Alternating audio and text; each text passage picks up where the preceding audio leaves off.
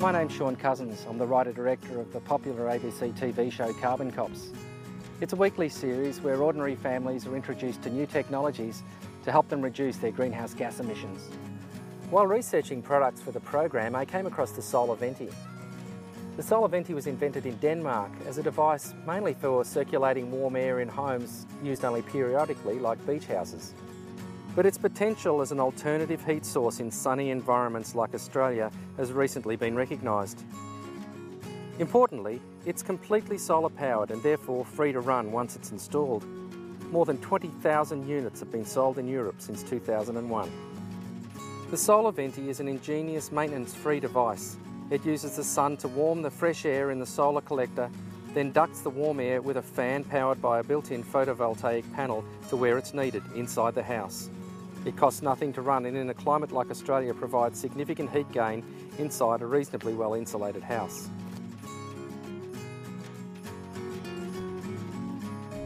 In one of the episodes of Carbon Cops, we were looking for a solution to a family with a heavy reliance on their tumble dryer.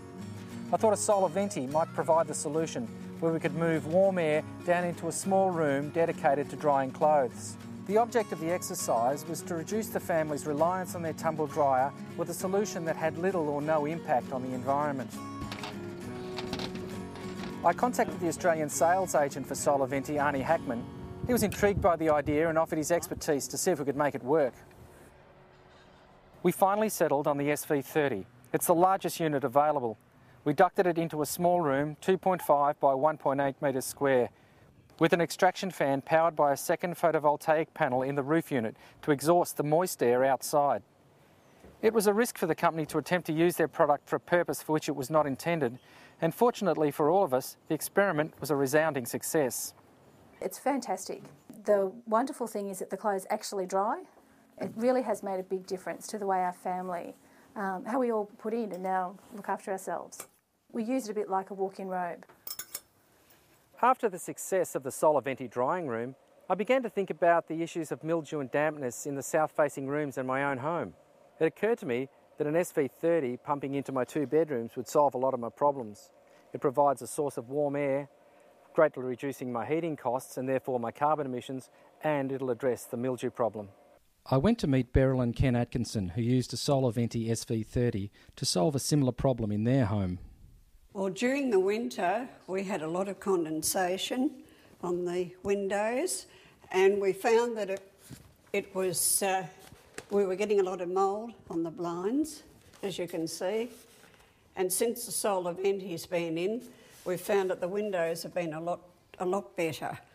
We haven't been having as much condensation, and it's been a lot warmer in here too. This is the temperature control unit in winter time, we put it up to around about the 23 mark.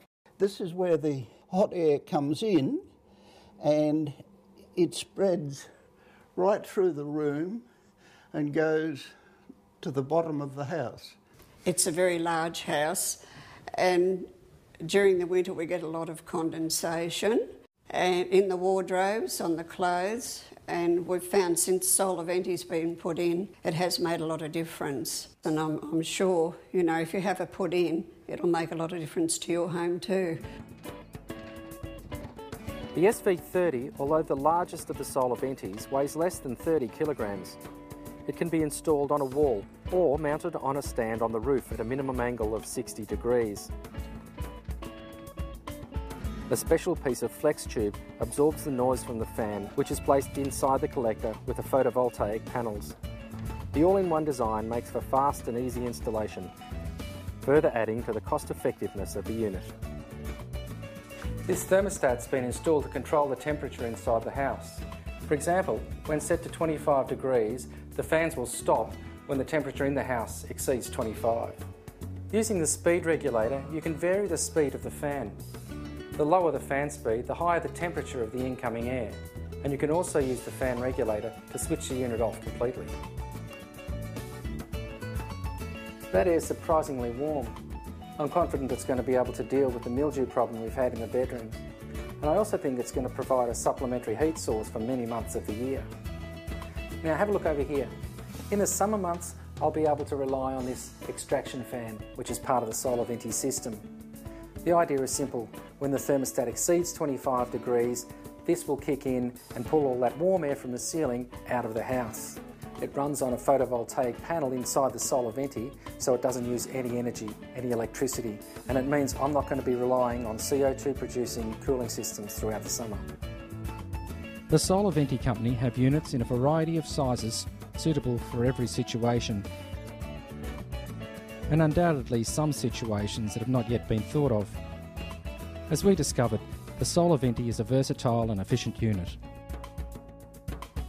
The advantage of uh, the whole system, of course, is that we've uh, paid SolarVenti for the unit and there's no further or additional cost added to it. I'm not a salesperson, but I really believe that every household should have one. We're very happy with it. It's been worth the money.